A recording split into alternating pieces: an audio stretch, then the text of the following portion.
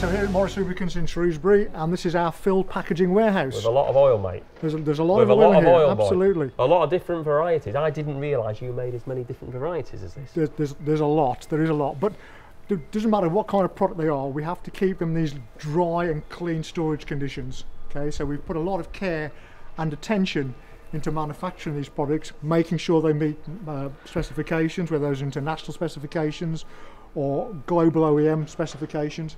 And we need to make sure that all that technology is packaged in a clean, dry environment and Mate, delivered. It's mint in here, isn't it? It's mint.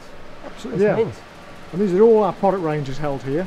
Yeah. And there's, a, there's a lot. we're, we're manufacturing around 44 million litres of finished product now per annum. 44 million litres. Yeah, and that's going into the UK hell. markets and also to um, over 90 countries now in our export markets. 90 bloody countries. 90 countries. Go on, as far as where? Furthest territory would be New Zealand, Right. and then we've got pretty much everywhere in between. So Iraq, Kazakhstan, Mongolia, China. Um, so we're covering a lot of. It lot blew me away when you were saying earlier about the, the Iraq job. Yeah. You know, you think they're pulling it out of the ground there, sending it over to England. It's, it's, You it's, boys are fettling it up and then sending it back to it's, Iraq. it's because it's a British product. That's that's what what. you said that goes a long way then? Absolutely, Having the yeah, Union yeah. Jack on it.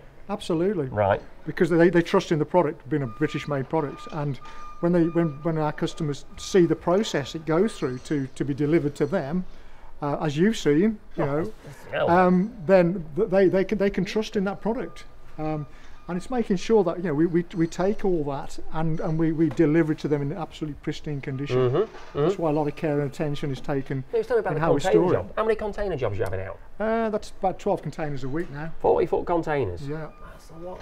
Hey? absolutely yeah and that's growing that's growing 12 containers a week are going out of this place and The- going abroad. the, ex- the export market is, is a growing market for us. Yeah. Um, and so we, we are putting lots more processes in place to increase that number. Mhm. I mean, 12's, 12's a good, good Go on, what would, what would you be putting in place then to get that number? How, how, have Well, you got we- we- sales reps abroad then? Well, we, we are, exactly, yeah. So we're putting in, we're you got any distributors abroad then? We have lots of distributors. We, we have distributors in oh, so you're not just sending it out there to the end user then? You have distributors that it goes We to? have people right, who know okay. those territories. Right. It's important that you know your home soil. So those people, those distributors in those territories, know know the culture. They know know, know the way of Right, operating. So Right, it's so you, right, right. So, in, So in they're our- all of these countries, partners, yeah. these 90 countries, that's what we're saying, they- they've got Morris Oil distributors. Absolutely. So, right, you're not sending it out to Joe Bloggs' garage Absolutely or to, not, right, no, it's no. going to a distributor. So we and have- there's, right, okay. we have Oh, so it's not like when that customer's ordering it, they're having to wait six weeks for the container to get there. That's not the case. It's at a distributor. Absolutely, Right, yeah. okay, so okay. six weeks could be how long it takes to get to New Zealand. But Yeah, I they, imagine it's a bloody container. they will have stock holding, so they can they can cater for that. Right, uh, okay.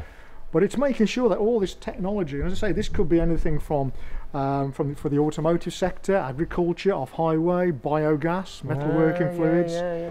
All of this is delivered in, in pristine condition to that to that territory wherever it Do happens you to be. You do cutting fluids as well? we do all the cutting fluids for, for industrial that. applications. Yeah, absolutely. Yeah, didn't know that. it's a broad spectrum of Yeah, products. bugger. Yeah, absolutely. I'm just looking through all of this stuff here as well.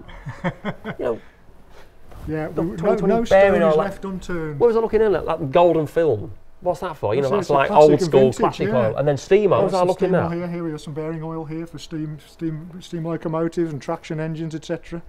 And of course, we've got all the cutting edge stuff, all the you know fuel efficient, energy saving, passenger car and heavy truck oils. Yeah, as like well. So- Euro 6 and beyond stuff. So They this, say you're getting ready for what's coming beyond Euro 6 now. yeah, we're, we're getting ourselves geared up for Euro seven seven compliance now. Absolutely, Yeah, yeah. man.